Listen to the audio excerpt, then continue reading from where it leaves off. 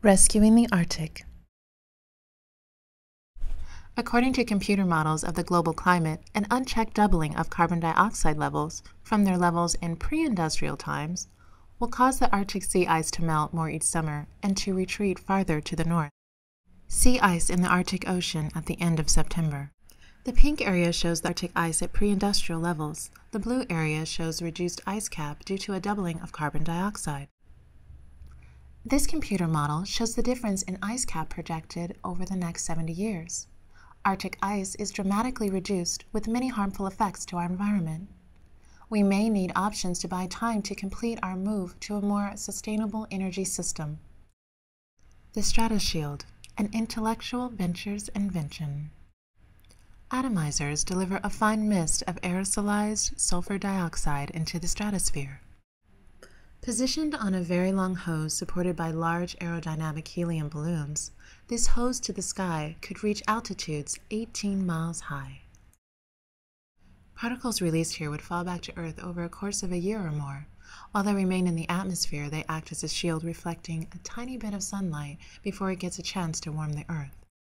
This is the edge of space, three times as high as commercial airplanes fly. The Stratoshield's hose need not be much bigger than an ordinary garden hose, but must be constructed to withstand high pressure from the pumps and be kept light as possible.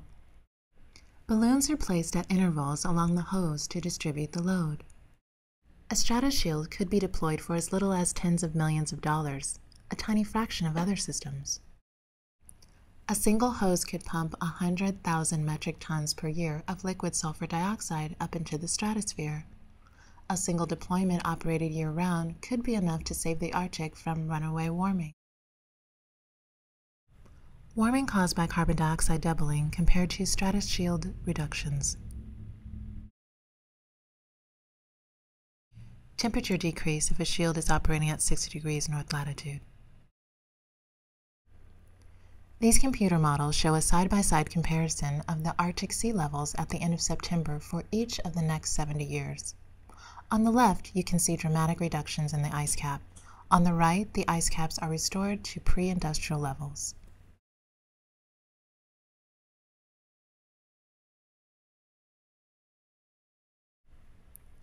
This model shows the year-round comparison of Arctic sea ice levels.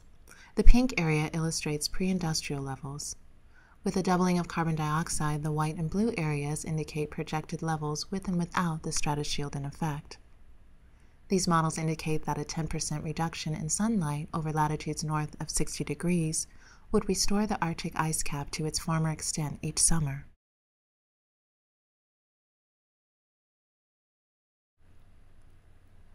Warming of the Northern Hemisphere if carbon dioxide levels stabilize at twice pre-industrial levels.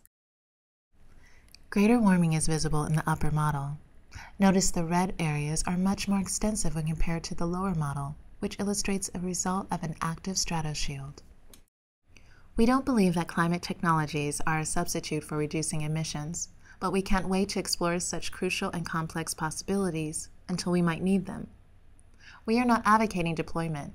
We are advocating further exploration. Please join us in researching these possibilities.